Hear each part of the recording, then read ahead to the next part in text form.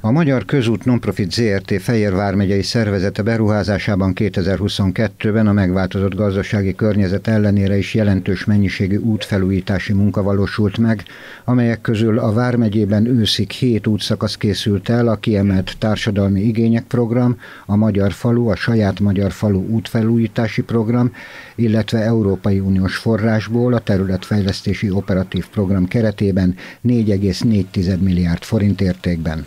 2021-es évhez. 2022-ben folytatódott a kiemelt társadalmi igények nevű útfelújítási programunk, amelyet hazai forrásból finanszíroztunk. Ezen program keretében Csákvár és Gánt között a 4,8 km hosszúságú útszakasz teljes hosszában megújult, mint egy 1,3 milliárd forint értékben. Ezen projekt keretében például Csákvár teljes vízzelvezetése is átépült ezen út mellett.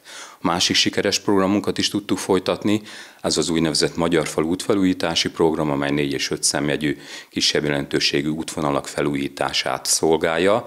Bár az elmúlt évben nyár végén az állami beruházásokat felfüggesztették, az elkezdett, de még be nem fejezett projektek közül 2023 tavaszán országosan 130 kilométernyi úton folytatódnak a kivitelezések, ezek közül több munka Fehérvár megyét is érinti. Elkezdtük a tavalyi évben egy nagyon fontos útszakasz felújítását, ez a Seregélyes Pákozdi útszakaszon a Velencei tó mellett vezető Dinnyés és Pákoz közötti útszakasz, amely a Velencei tó kerékpárút részét is képezi. Itt tavaly már elkészült a kötőréteg, ezt tavasszal ezt a projektet folytatni fogjuk, és remélhetőleg a kivitelező a nyári szezon elejéig meg fogja készíteni az útfelújítást, el fogja készíteni az útfelújítást. Összességében a Vármegyében közel 14 kilométeren indulnak meg, illetve folytatódnak a munkák, ugyanakkor a 2023-ra tervezett Pátka bekötő út kivitelezését már 2022. novemberében be tudták fejezni.